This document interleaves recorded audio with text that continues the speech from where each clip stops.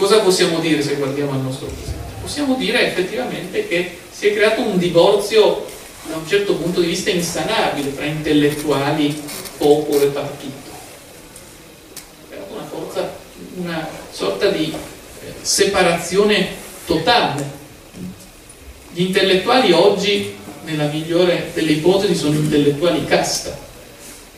Come dice lo scrittore Stefano Benni, la gente di una certa qual cultura con la K, che si sente tanto più intellettuale quanto più distante dal popolo.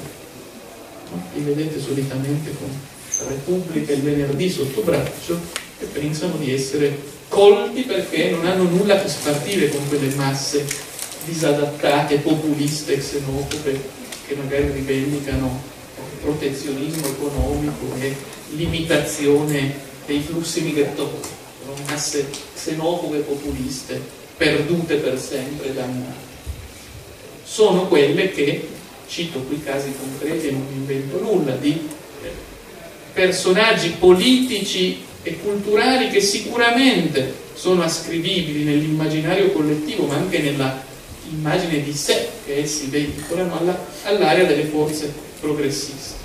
Cito solo tre casi, mi consentirete di storia presente. Osannatissimo eh, intellettuale Jacques Attali in Francia, autore anche di un libro su Marx, tra l'altro, consigliere a suo tempo di Mitterrand, quindi sicuramente non della destra radicale, il quale Jacques Attali, che ora è diventato consigliere di Macron, inciso, eh, disse nel 2012, se ricordo bene l'anno, ma che credeva la plebaglia europea? Che l'euro era stato fatto per la sua felicità?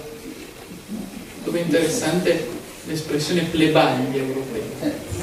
Le masse nazionali popolari sono diventate, per il quadrante progressista, plebaglia, no?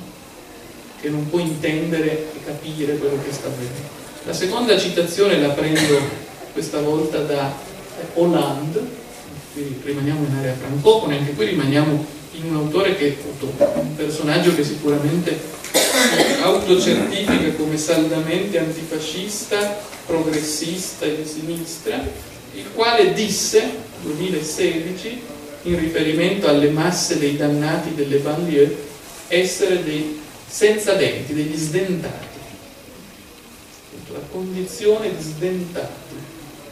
Terzo esempio che voglio richiamare è quello eh, di Hillary Clinton, osannata eh, a pieni, con, pieni, cerimonie da tutto il gen set progressista che doveva sconfiggere il eh, populista, barbara, xenofobo, neofascista Trump, perché era effettivamente lei esponente punta della democrazia missilistica, dei bombardamenti etici in nome del progresso dell'umanità, che disse in riferimento a coloro i quali votavano Trump essere costoro una cesta di deplorevoli 2016 una cesta di deplorevoli ecco qui. Si è consumato credo un divario completo tra la massa nazionale popolare e gruppi diciamo così progressisti a vario e questo è il punto su cui bisognerebbe non sia ancora riflettuto sufficientemente.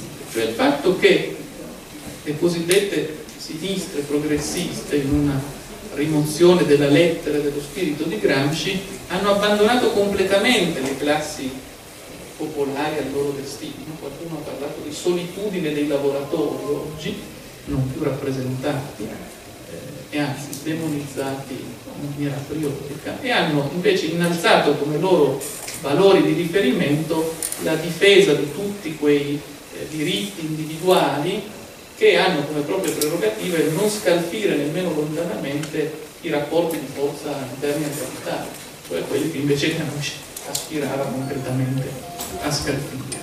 Ecco, per queste ragioni credo che occorra ripensare da Gramsci il nesso intellettuali, eh, popolo, non più la categoria gramsciana popolo, anche a costo di essere stigmatizzato come populista, in effetti oggi nel conflitto di classe asimmetrico peraltro fra un'aristocrazia finanziaria post borghese e post proletaria e una massa di dannati della terra, senza denti, deplorevoli e eh, plebaglia, composta a vario titolo da eh, disoccupati, lavoratori, precari, eh, ceto imprenditoriale in fase di disfacimento e quant'altro, effettivamente possiamo ben dire che è populista chiunque, memore di Gramsci, assuma la prospettiva del popolo, non dell'elite stessa sicuramente. Ecco, se le parole ancora conservano un senso. Ecco,